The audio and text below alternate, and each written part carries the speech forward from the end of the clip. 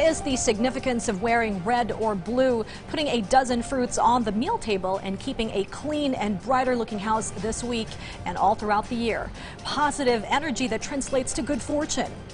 Just among the tips to include a prosperity basket and rabbit themed decor at home prescribed for Chinese New Year that kicks off this Sunday as we hear more from our Bea Bernardo.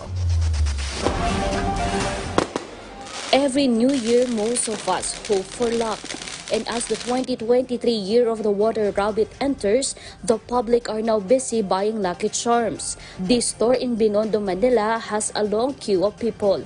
According to Johnson Chua, a feng shui expert, people are mostly buying prosperity baskets.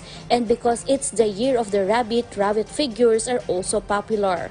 Pag meron tayong rabbit image sa bahay, automatically we're attracting the good energy ng 2023. But according to Chua, most people who go to them are also looking for personal lucky charms. That's why the so-called power bracelets are in demand. Percy is one of the clients wanting to get a lucky charm. According to her, she's a year of the rooster and based on prediction, 2023 will bring challenge for her. Gusto ko ng pangontra para lang makatulong. Ah, Siyempre, hindi naman sa, kumbaga, yun lang, makatulong to, for a better 2023. If you can't afford to buy Lucky Charms, don't worry. There are simple things we can do at home that can bring luck. During the celebration of the Chinese New Year, the entire house should be made light and happy. Also prepare 12 fruits representing the 12 months of the year. Make sure the entire house is clean, especially the kitchen because it symbolizes money and health in our home.